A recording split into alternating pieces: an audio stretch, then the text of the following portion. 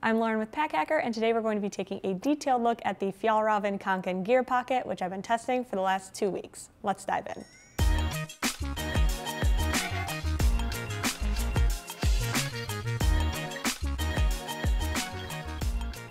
So it's kind of hard to ignore that this is a Kanken product just by nature of what's on the outside here with this logo. It is, you know, fairly large, takes up a good amount of this pocket, but it does have that sort of Kanken feel to it, just in general. And then on top of that, it is also made with these same materials. So this is that G1000, and that's something that you're gonna find in a lot of Kanken bags. It's sort of a mix of a polyester and a cotton. This one here doesn't have the Greenland wax already on it, but it is added on. So it does have like a it has a pretty sturdy feel to it if you're familiar with the um, materials, but in general, you know, it doesn't have that sort of like waxy feel, um, but you can add that if you wanted to. So in general, uh, the material is holding up well, which is sort of expected just because we are pretty familiar with it.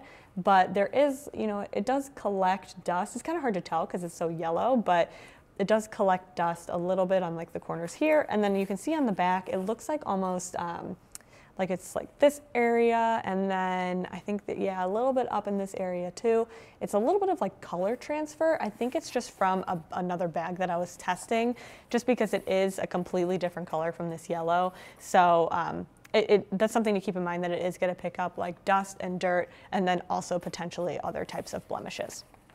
And then as well with this, we have these top zippers, uh, or the top zipper rather, it's the only zipper on here, and it is a YKK with a nice uh, matching zipper pull. So this whole thing is pretty sleek. Um, we've got the, the little flag on the bottom here as per usual, and then on the side here is just sort of like a, a grab handle, I guess you could say. Um, it is sort of like a nylon material, but it's pretty stiff. It holds its structure really well, and then it doesn't like, if I were to just push on that, you know, it, I need to have like a fair amount of pressure for it to move in. So that just kind of hangs out there. I like that it's on an angle so that, you know, when you hang it, it sort of dangles very nicely instead of just being like, if, I don't know, if like if you were to have this very, very much so straight up, then it would just sort of like fall that way anyway. So this keeps it sort of like sleek looking, which is just an interesting touch, um, very thoughtful on their part. And then along the edges, there's no base or anything, so this truly is just a straight up pocket that you can just sort of pack as you want to. So in terms of dimensions, it's about five and a half inches tall and then uh, about 8.27 inches along the bottom. So they do, um, it is a fairly large pack. I know my hands aren't a super great size reference, but you can fit a fair amount in here. So let's take a look on the inside.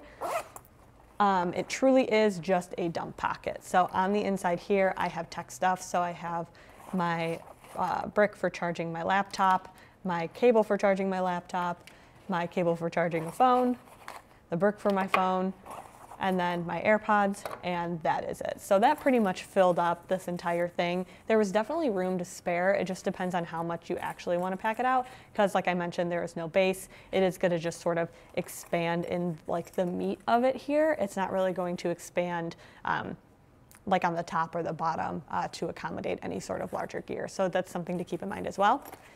And then on the inside, there is a little tag here, and it's like a slick material. It's like, it's like shiny, um, where you can put your name and your contact information if you do happen to lose it. Um, just kind of a nice ad. I don't think it's super, super necessary, but um, great to see regardless.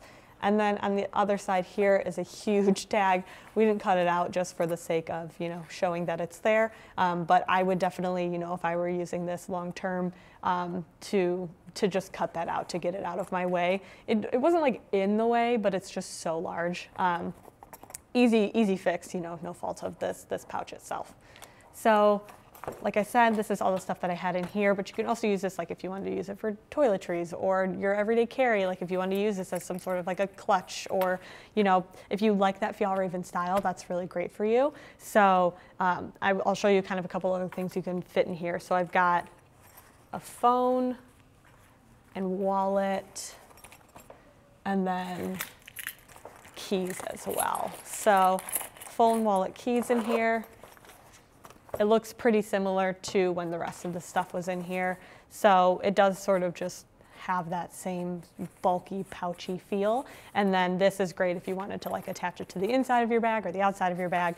Um, don't recommend the outside if you're keeping anything like important in there, like your phone wallet and keys, your travel information, or even like tech. But if you wanted to keep like little multi tools or you know, travel cutlery if you guys are like going on a picnic or something like that. This is going to be really great for that just because it is so durable and so versatile. So there you have it, the Fjallraven Kanken Gear Pocket. Thanks for keeping it here at Pack Hacker, your guide to smarter travel, and we'll see you in the next one.